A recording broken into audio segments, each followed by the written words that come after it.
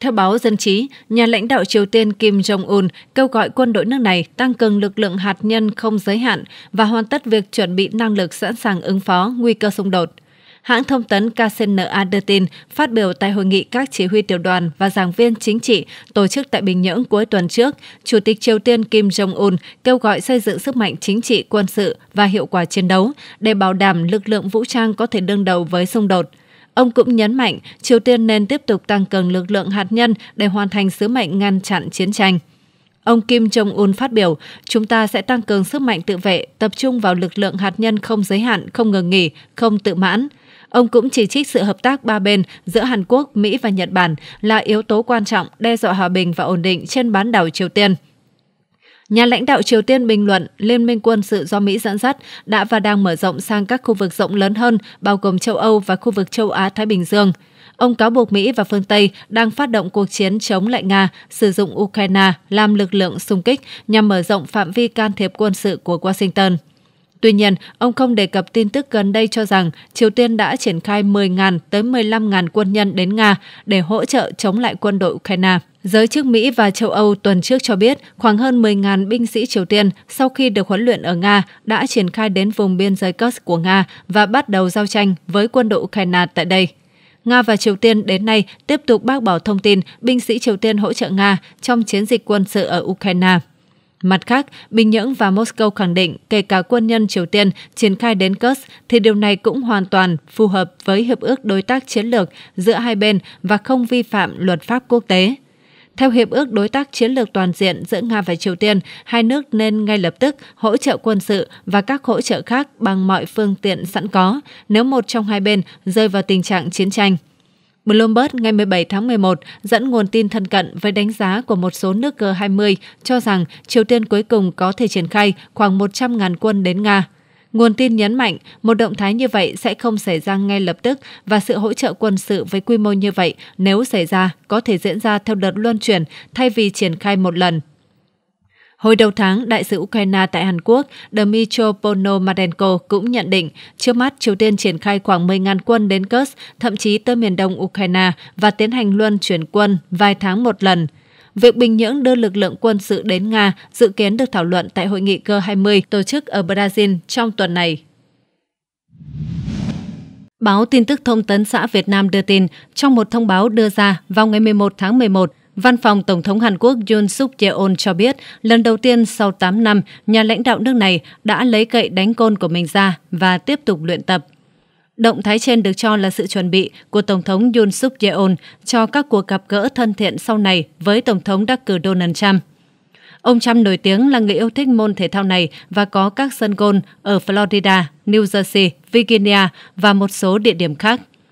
Theo ước tính của báo Washington Post, vào năm 2021, ông Trump đã chơi khoảng 261 trận gôn trong suốt nhiệm kỳ đầu tiên của mình. Đối với các nhà lập pháp, doanh nhân và các nhà lãnh đạo thế giới, ra sân gôn là một cách quan trọng để gần gũi hơn với vị Tổng thống Mỹ lần thứ 47 của Mỹ. Tuần trước, phản ứng sau chiến thắng của ông Trump trong cuộc đua vào Nhà Trắng, Tổng thống Yoon suk yeol người có tỷ lệ tín nhiệm đạt mức thấp kỷ lục 17%, đã triệu tập một cuộc họp khẩn cấp về kinh tế và an ninh vào cuối tuần. Các quan chức Hàn Quốc đặc biệt lo ngại trước những lời tuyên bố của ông Trump về việc áp thuế 20% đối với tất cả các mặt hàng nhập khẩu vào Mỹ, cũng như các yêu cầu khác mà ông có thể đặt ra cho quốc gia Đông Bắc Á và những lời đề nghị mà ông có thể đưa ra đối với Triều Tiên. Sau chiến thắng bầu cử, Tổng thống Yoon suk yeol đã có 10 phút điện đàm với ông Trump. Hai nhà lãnh đạo đã nhất trí sẽ sớm gặp mặt trực tiếp. Theo nhận định của David Bowling, Giám đốc Thương mại Nhật Bản và châu Á, tại công ty tư vấn Eurasia Group, Tổng thống Hàn Quốc dường như đang làm theo sách lược của cố Thủ tướng Nhật Bản Shinzo Abe. Cố Thủ tướng Abe có mối quan hệ cá nhân thân thiết với ông Trump và đã có ít nhất 5 dịp chơi gôn cùng nhau tại các sân gôn ở Mỹ và Nhật Bản. Tháng 11 năm 2016, ngay sau khi ông Trump lần đầu tiên được bầu làm tổng thống, cố Thủ tướng Abe cũng đã tặng ông Trump một bộ gậy đánh gôn mạ vàng trong chuyến thăm Trump Tower ở New York. Tư vấn viên Bowling cho biết trong một báo cáo tuần trước, cố Thủ tướng Nhật Bản vô cùng khéo léo trong lối ứng xử với ông Trump, bao gồm thông qua trò gôn. Điều đáng chú ý đối với tôi về ông Abe là ông ấy sẵn sàng hy sinh cái tôi khá lớn của mình để tạo không gian cho cái tôi lớn của ông Trump. Trong khi đó, Jeremy Chan, một nhà phân tích cấp cao về Trung Quốc và Đông Bắc Á tại Eurasia Group, nhận định Tổng thống Yoon suk yeol có thể là một AB thứ hai trong chính quyền Tổng thống Trump 2.0. Tổng thống Yoon suk yeol được biết đến là một người ủng hộ nước Mỹ và rất thông thạo tiếng Anh. Không chỉ vậy, theo nhà phân tích Chan, mặc dù Tổng thống Hàn Quốc không chơi gôn thường xuyên, nhưng ông là một người có nhiều tài và việc dễ dàng học cách chơi gôn giỏi sẽ khiến ông có cơ hội tạo mối quan hệ tốt với Tổng thống Trump. Cho đến nay, Hàn Quốc vẫn luôn tỏ ra bình tĩnh trước cuộc bầu cử Tổng thống Mỹ khi khẳng định mối quan hệ hai nước sẽ vẫn vững như bàn thạch bất kể ai thắng cử. Nhà phân tích Chan nói, nhưng tôi nghĩ rằng thái độ lạc quan đó che giấu sự bất an bên dưới về mặt an ninh và kinh tế. Giống như Nhật Bản, Hàn Quốc có khả năng phải đối mặt với mức thuế quan cao hơn hoặc chỉ đơn giản là những yêu cầu đối với nước này về việc mua thêm hàng hóa của Mỹ nhằm giảm mất cân bằng thương mại. Tuần trước, Bộ trưởng Tài chính Hàn Quốc Choi Sang-mok cho biết chính phủ sẽ nỗ lực giảm thiểu mọi tác động tiêu cực đối với các công ty trong nước do thay đổi chính sách thương mại của Mỹ dưới thời ông Trump.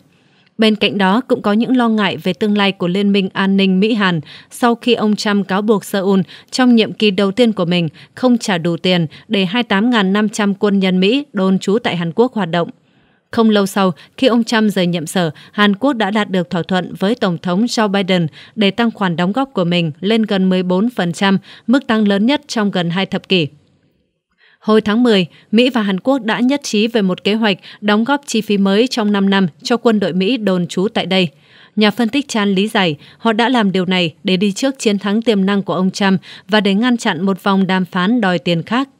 duy trì một liên minh an ninh mạnh mẽ với Mỹ, đặc biệt quan trọng đối với Hàn Quốc trong bối cảnh quan hệ đối đầu giữa Hàn Quốc và Triều Tiên ngày càng căng thẳng. Trong khi Tổng thống Yoon suk yeol có lập trường cứng rắn với quốc gia láng giềng phương Bắc, ông Trump được cho là sẽ tiếp tục nối lại các hội nghị thượng đỉnh trực tiếp với nhà lãnh đạo Triều Tiên Kim Jong-un. Trong 4 năm qua, chương trình hạt nhân và tên lửa của Triều Tiên đã có những tiến bộ đáng kể. Rất có thể chính quyền mới của ông Trump sẵn sàng chấp nhận việc đóng băng tham vọng hạt nhân của Bình Nhưỡng thay vì phi hạt nhân hóa hoàn toàn. Về cơ bản, chấp nhận Triều Tiên là một quốc gia hạt nhân. Theo báo Công an Nhân dân, truyền thông Triều Tiên ngày 12 tháng 11 cho biết nước này đã phê chuẩn hiệp ước phòng thủ chung với Nga, được lãnh đạo hai nước ký vào tháng 6 vừa qua. Tuyên bố do hãng thông tấn Trung ương Triều Tiên KCNA đăng tải nêu rõ Hiệp ước Đối tác Chiến lược Toàn diện giữa Triều Tiên và Nga được ký kết tại Bình Nhưỡng vào ngày 19 tháng 6 năm 2024 đã được phê chuẩn theo sắc lệnh của Chủ tịch Quốc vụ viện Triều Tiên. KCNA nêu rõ, người đứng đầu nhà nước Triều Tiên đã ký xác lệnh vào ngày 11 tháng 11 năm 2024. Hiệp ước có hiệu lực kể từ ngày hai bên trao đổi văn bản phê chuẩn. Động thái của Triều Tiên diễn ra trong bối cảnh đồn đoán gia tăng về việc Bình Nhưỡng điều quân tới Nga. Hiện cả Nga và Triều Tiên đều chưa đưa ra xác nhận thông tin này. Tuy nhiên, Ukraine và phương Tây đưa ra nhiều tuyên bố về sự có mặt của quân đội Triều Tiên ở gần khu vực biên giới Kursk của Nga. Trước đó hôm 9 tháng 11, TASS đưa tin Tổng thống Nga Vladimir Putin vừa ký thành luật Hiệp ước Đối tác Chiến lược Toàn diện Nga-Triều Tiên mà ông và lãnh đạo Triều Tiên Kim Jong-un đã ký trong chuyến công du Bình Nhưỡng hồi tháng 6, nhằm thay thế cho Hiệp định về hữu nghị láng giềng tốt và hợp tác giữa hai nước được ký từ năm 2000. Trong hiệp ước có điều khoản cam kết của Nga và Triều Tiên về việc hỗ trợ quân sự lẫn nhau trong trường hợp một trong hai nước bị thế lực bên ngoài tấn công và rơi vào tình trạng chiến tranh, phù hợp theo Điều 51 của Hiến trương Liên Hợp Quốc và luật pháp hai quốc gia. Cũng trong hiệp ước này, cả hai bên cùng nhấn mạnh sự hợp tác song phương sẽ mang ý nghĩa phòng thủ nhằm bảo đảm hòa bình an ninh lâu dài. Thông tin từ báo Tiền Phong, các tên lửa được bắn vào khoảng 7 giờ 30 phút sáng theo giờ địa phương từ khu vực huyện Sarikwon, tỉnh Bắc Hầu Quang Hê của Triều Tiên. Hội đồng tham mưu trưởng Liên quân Hàn Quốc cho biết đang chia sẻ thông tin với Mỹ và Nhật Bản, đồng thời tăng cường giám sát diễn biến tiếp theo. Chính phủ Nhật Bản cũng đưa ra thông tin về vụ phóng. Lực lượng bảo vệ bờ biển Nhật Bản cho biết vật thể dường như là tên lửa đạn đạo. Đài truyền hình NHK đưa tin tên lửa đã rơi ngoài vùng đặc quyền kinh tế của Nhật Bản – Đợt phóng tên lửa của Triều Tiên diễn ra sau vụ thử tên lửa đạn đạo liên lục địa nhiên liệu rắn khổng lồ Hwasong 19 tuần trước. Hành động lần này của Triều Tiên diễn ra chỉ vài giờ trước khi cuộc bầu cử Tổng thống Mỹ bắt đầu. Hãng thông tấn Triều Tiên KCNA hôm nay đăng bài viết dẫn phát biểu của bà Kim Yo Jong là em gái của Chủ tịch Kim Jong-un gọi các cuộc tập trận quân sự gần đây của Mỹ, Nhật Bản và Hàn Quốc là mối đe dọa, khiến Triều Tiên phải tăng cường năng lực vũ khí hạt nhân. Bộ trưởng Quốc phòng Hàn Quốc Kim Jong-hyun lưu ý từ cuối tháng trước rằng Triều Tiên muốn phóng đại sự tồn tại của họ vào khoảng thời gian diễn ra cuộc bầu cử Tổng thống Mỹ và sau đó, bằng cách phô trương sức mạnh như thử tên lửa xuyên lục địa hoặc thử hạt nhân – trong một diễn biến khác, Bộ Ngoại giao Mỹ vừa chấp thuận thương vụ bán máy bay cảnh báo sớm và kiểm soát trên không cho Hàn Quốc với giá ước tính 4,92 tỷ đô la Mỹ. Lầu Năm Góc cho biết nhà thầu chính sẽ là hãng Boeing. Thông tin từ báo tin tức, Hội đồng Tham mưu trưởng Liên quân Hàn Quốc JCS vào ngày 4 tháng 11 thông báo rằng Triều Tiên đã huy động 300 tới 400 binh sĩ để đắp gò đất trên các tuyến đường Gyeonggui và Đông Hề mà nước này đã phá nổ trong tháng trước. Cạnh các gò đất, Triều Tiên đã xây hào bê tông chống tăng. Hào xây tại đường Đông Hê dài 160 m và sâu 5 m, trong khi hào tại đường Gyeonggui có chiều dài tương tự nhưng sâu 3 m. JSC nhận định dường như Triều Tiên đã hoàn thành việc đắp gò đất và xây hào từ hôm 1 tháng 11. Đáng chú ý, một quan chức JCS giấu tên nhận định với hãng thông tấn Yonhap Hàn Quốc rằng những gò đất này không mang tính chất quân sự mà Bình Nhưỡng chỉ dùng để đánh dấu lãnh thổ. Ngày 15 tháng 10, Triều Tiên đã phá nổ nhiều phần của tuyến đường Gyeonggui và Đông Hề sau khi tuyên bố sẽ cắt mọi tuyến đường và đường sắt nối với Hàn Quốc. Hai con đường Gyeonggui và Đông hề được xây dựng trong thời kỳ hòa giải giữa hai miền Triều Tiên vào giữa những năm 2000. Tuy nhiên, trong những năm gần đây, chúng không còn được hoạt động do mối quan hệ căng thẳng giữa hai nước. Trong một diễn biến gần đây, ngày 31 tháng 10, Triều Tiên xác nhận nước này đã tiến hành một vụ thử tên lửa đạn đạo xuyên lục địa ICBM vào sáng cùng ngày. Theo hãng thông tấn Trung ương Triều Tiên KCNA, Triều Tiên đã phóng ICBM này để khẳng định năng lực và độ tin cậy của hệ thống tên lửa chiến lược mới – nhà lãnh đạo Kim Jong-un một lần nữa khẳng định rằng Triều Tiên sẽ không thay đổi chính sách tăng cường năng lực hạt nhân. Mỹ, Nhật, Hàn tập trận chung với nhau sau vụ thử tên lửa đạn đạo ICBM của Triều Tiên.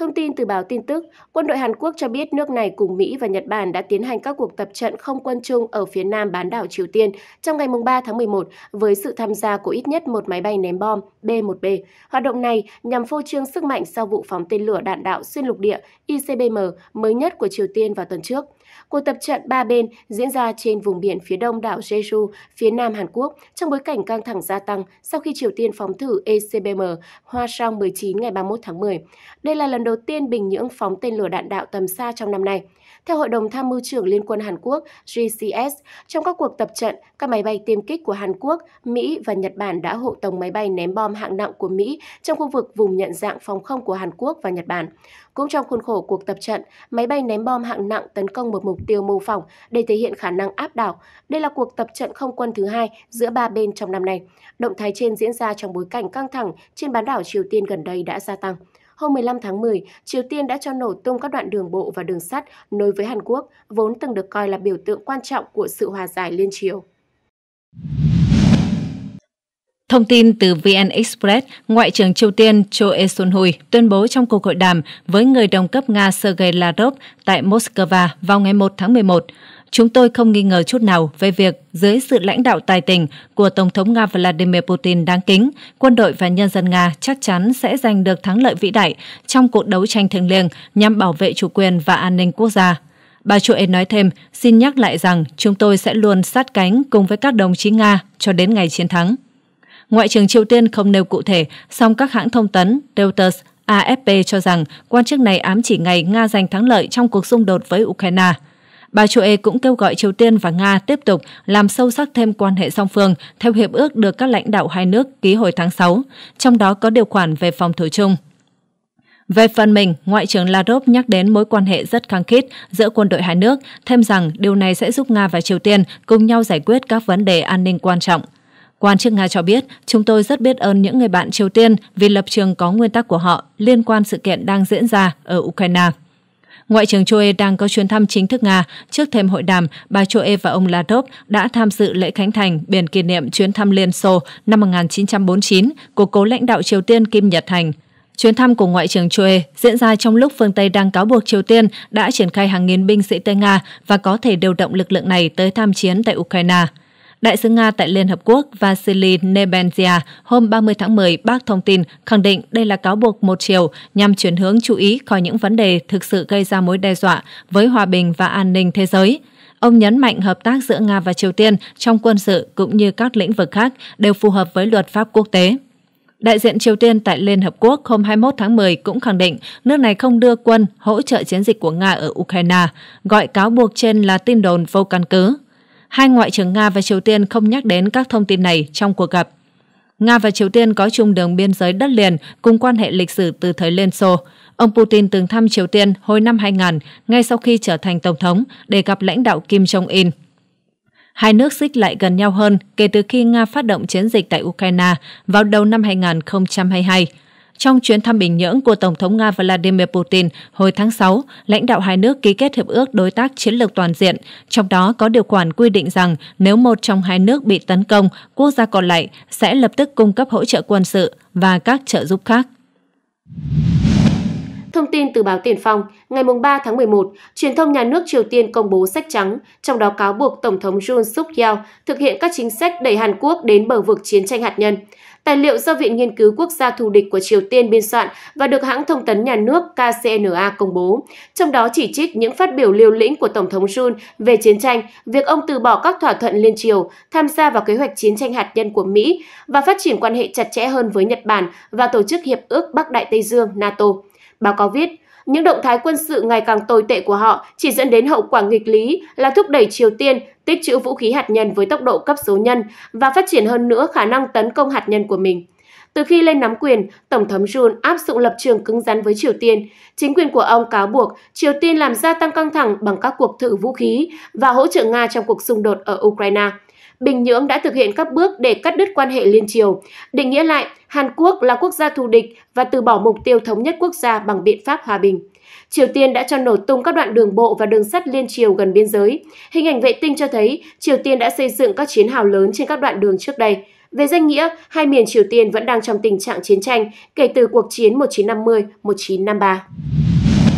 Thông tin từ báo tin tức Thông tấn xã Việt Nam, hình ảnh vệ tinh cho thấy Triều Tiên đã đào ít nhất hai hào lớn cắt ngang các tuyến đường bộ và đường sắt ở khu vực biên giới với Hàn Quốc. Động thái này diễn ra sau khi Triều Tiên phá hủy các tuyến đường xuyên biên giới vào đầu tháng này. Hiện tại, vẫn chưa rõ các hào này dùng để làm gì. Ước tính hào tại điểm giao cắt phía đông dài khoảng 150 mét và chỉ có đất đá ở một bên. Hình ảnh vệ tinh do Planet Labs BBC chụp vào ngày 30 tháng 10 cho thấy một hào cắt ngang đường bộ và đường sắt chạy qua phần phía tây của khu phi quân sự giữa hai nước. Căng thẳng giữa hai nước đang ở mức cao nhất trong nhiều năm khi Chủ tịch Triều Tiên Kim Jong-un tuyên bố cắt đứt quan hệ và từ bỏ mục tiêu hòa giải lâu dài với Hàn Quốc. Trong khi đó, chính phủ Hàn Quốc có lập trường cứng rắn đối với tham vọng hạt nhân của Triều Tiên. Công việc xây hào dường như bắt đầu ngay sau khi Triều Tiên tiến hành phá hủy có tổ chức một đoạn đường gần Kaesong, một thành phố biên giới ở phía tây của Triều Tiên, và một đoạn đường bộ kết hợp đường sắt gần biên giới phía đông giữa hai nước vào ngày 15 tháng 10. Trong các hình ảnh của Planet Labs, dấu hiệu đầu tiên của các hào xuất hiện vào ngày 17 tháng 10 sau khi mây che khuất tầm nhìn trong 4 ngày trước đó. Hào phía tây nằm cách ga Dorasan khoảng 1,7 km. Đây là ga cuối cùng ở phía Hàn Quốc trên tuyến đường từng chạy tới khu phức hợp nhà máy hiện đã bị đóng cửa tại Kaesong. Các nhà máy này từng được hai nước cùng điều hành cho đến khi Seoul đóng cửa vào năm 2016 sau một vụ thử hạt nhân của Triều Tiên. Trong ảnh vệ tinh, có thể nhìn thấy một số xe có thể được nhìn thấy tại khu vực đào hào, trong đó có xe di chuyển đất đá. Công việc tương tự cũng diễn ra một điểm qua biên giới giữa hai nước, dọc theo bờ đông bán đảo Triều Tiên. Có một hào cắt ngang đường ngay trước một cổng biên giới của Triều Tiên trong khu phi quân sự. Các nhà phân tích tại trang web 38 Not chuyên về Triều Tiên là những người đầu tiên nói về các hào này. Họ nói rằng công việc đào hào bắt đầu gần như ngay lập tức sau khi Triều Tiên phá hủy các đoạn đường bộ và đường sắt. Các nhà phân tích ước tính rằng hào phía Tây dài khoảng 125 m và rộng khoảng 7 m, có các đống đất lớn ở hai bên. Hào và đống đất này có mục đích không dùng để làm gì ngoài việc dường như là một loại rào chắn nhằm cắt đứt các liên kết giao thông. Gò đất có thể là một phần của hàng rào hoặc có thể chỉ là đất tạm thời để đó trong quá trình xây dựng. Họ cho biết một số xe tải vẫn ở khu vực đào hào, cho thấy công việc vẫn chưa hoàn thành.